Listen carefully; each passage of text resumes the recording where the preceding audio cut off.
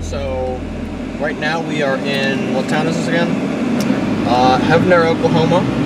We're heading for the storm just across the border into Arkansas. Uh, it's had a sustained mesocyclone in rotation now for a while. And it's looking pretty decent, tops up to 50k. So yeah, that's what we're heading for right now. We've got a ton of towers all around us here. I mean, try to, there we go.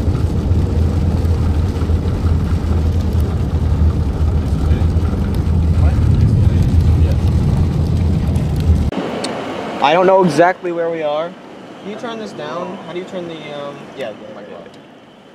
Where are we? Do you know where we're near? Do you know the closest town to us, Dalton?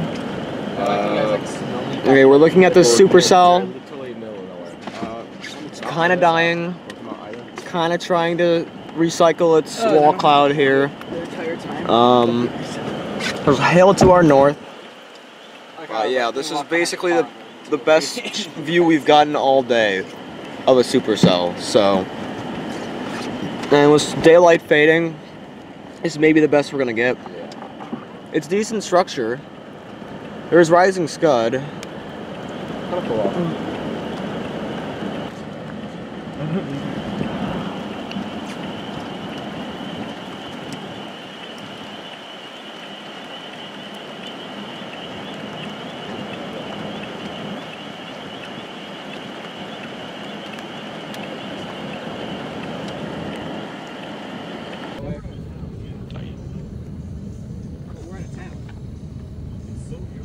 Hello. It did get a little messy. There's still a donut hole though. There's still a donut hole on it. We're about to start seeing more of the meso as it comes into view. Oh, I'm starting to see detail. I'm starting to see Cameras. meso detail. camera's so much better for mine at night. Like What, what, what kind of phone do you have again?